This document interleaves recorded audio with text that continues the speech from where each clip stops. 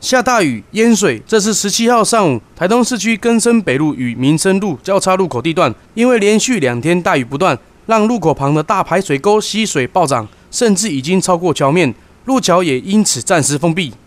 这个是在那个丰田里的南平桥的地方，然后它早上的水有淹过那个旁边的那个护栏，啊，现在水位已经退去了，我们现还是怕等下那个豪雨，先把那个安全措施全部都围起来这样子，那个先把。交尾都围好了，如啊，等一下后续如果比较退的时候，就把那个淤泥全部都清一清，这样子。所幸溪水来得快，去得也快，溪水也退至安全范围。不过好雨仍会持续，请民众在开车时多留意交通安全，避免发生意外。东台新闻郑慧茹、杨国柱台东市采访报道。